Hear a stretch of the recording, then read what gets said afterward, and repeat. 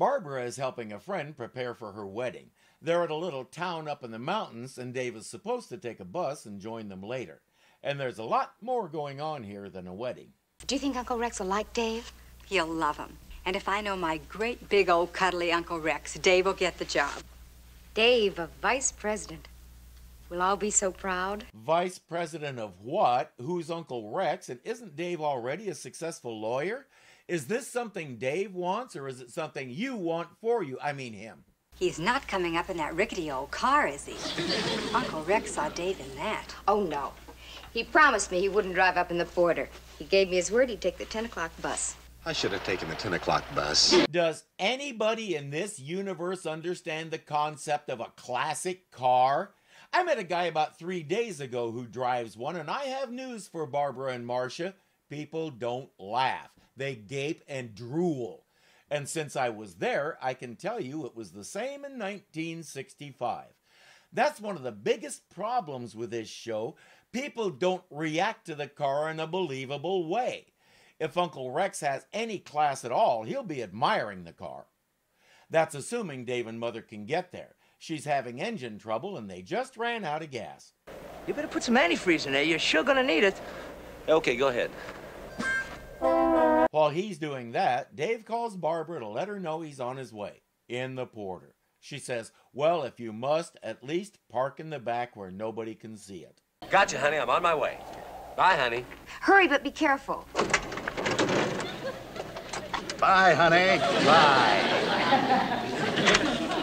Your three minutes were up. You mind? You mind if I have a little privacy? The laugh track isn't helping because this guy isn't funny. He's obnoxious and rude. He and Dave will clash several more times before Dave gets to the chapel, so everybody knows who he's going to turn out to be. Hello? Yes, Marcia's here. May I tell her who's calling? Tell her it's Uncle Rex. That's right, we won't even save it for some kind of reveal later on. We'll let the viewer know now so they can see all the ways Dave is torpedoing his chances to get the job. Frankly, if Dave even wants to work for that guy, he's goofier than the show makes him out to be. David, for heaven's sakes, watch where you're going. I am watching. Stay on the road, will you? That's better. Better, you're all over the road. The antifreeze was pure alcohol and she's drunk as a skunk mobile.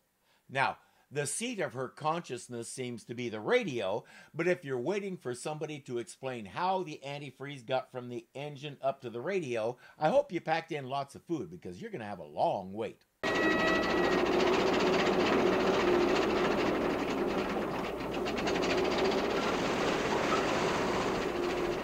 We'll watch Dave insist that he's not drunk, even though he can't come up with an explanation for why he was weaving like that. It won't occur to him to suggest that something was a little weird in the steering or some such. He'll just keep saying, I'm not drunk, which of course makes him sound drunk. They're ready to haul him in, but Dave says, I'm a lawyer, I know my rights, and I demand a sobriety test. Forget it, mister. You're too south to take the test. I know my rights. Josh, let him blow up a balloon. The orange one?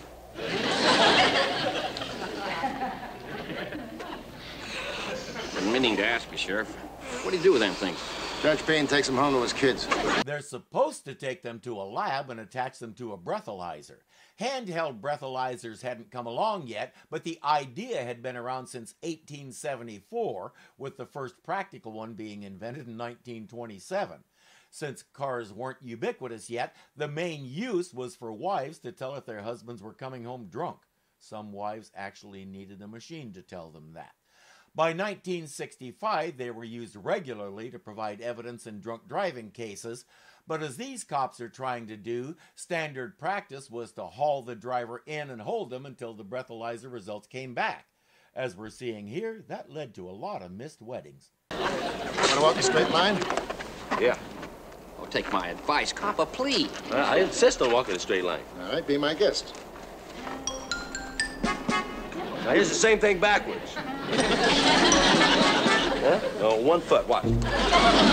Later that year, our deputy moved up in the world. He relocated to Hooterville, got a job as county agent, and changed his name to Hank Kimball. It's obvious Dave hasn't been drinking, so they have to let him go. Besides, they have other things on their minds.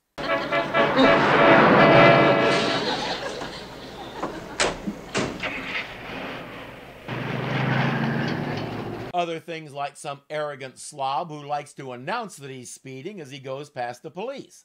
Mom is still plastered, so Dave stops at a little diner along the way. Coffee, hot and black, please, and plenty of it. You got something to put it in? Fill her up. You want me to put coffee in that? Yeah, it's empty. She watches him pour the coffee into Mom's radiator and calls the sheriff. What do you mean my coffee tastes like rust remover?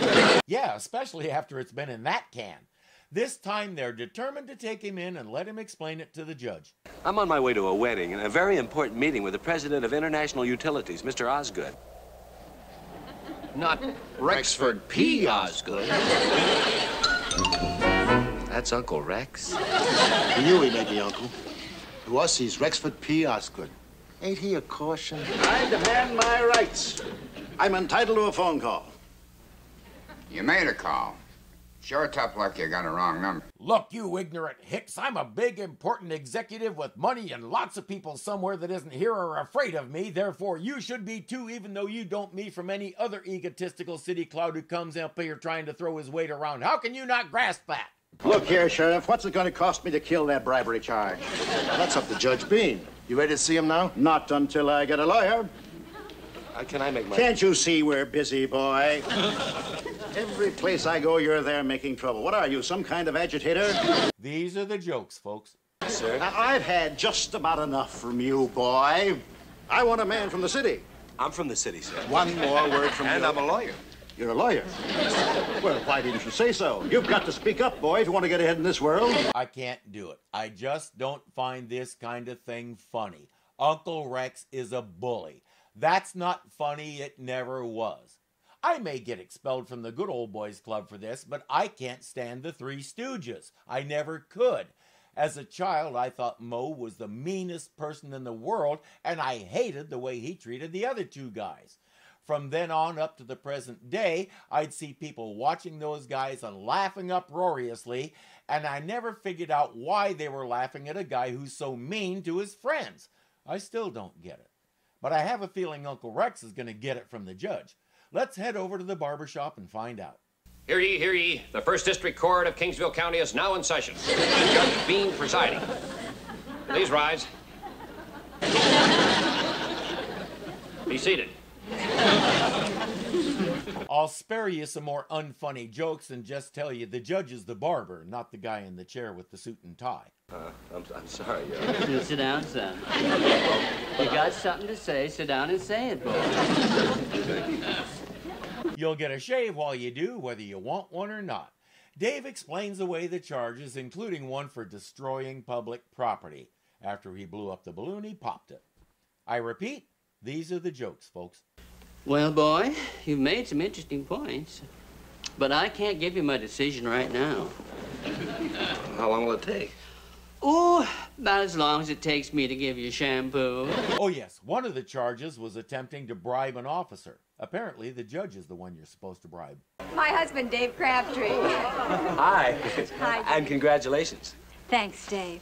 Gee, I'm sorry about Uncle Rex. He didn't even come to my wedding. Oh, yeah, I know. I ran into him on the way. He was delayed, but, but he asked me to give you this check. Oh, thanks, Dave. Barbara asks how he ran into Uncle Rex. I'm his lawyer. I defended him on, on a bribery charge. How wonderful. When am I going to meet him? Uh, like on Visitor's Day. He's in jail. I lost the case. Dave made it to the wedding and has everybody's approval.